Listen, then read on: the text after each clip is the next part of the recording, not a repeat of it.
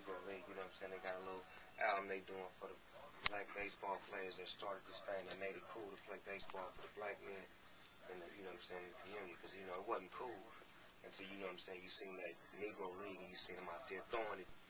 But, man, they beating the white team. It's cool to be a baseball player. Now look at baseball now. They're getting paid millions.